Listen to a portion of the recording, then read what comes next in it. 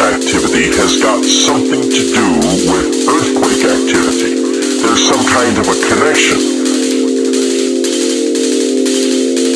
Now, everyone in the scientific community is aware of the fact that solar science is that the sun is much less quiet now than it has been during most solar minimums, and they are expecting the next solar max to be a doozy. And when does it reach its apogee? In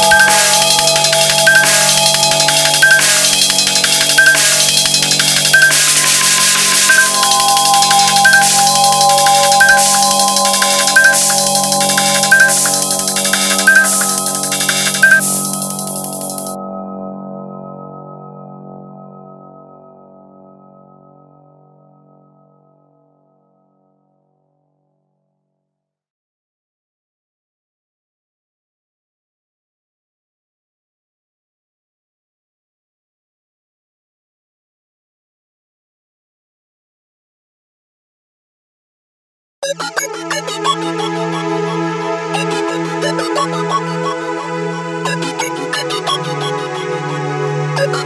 you.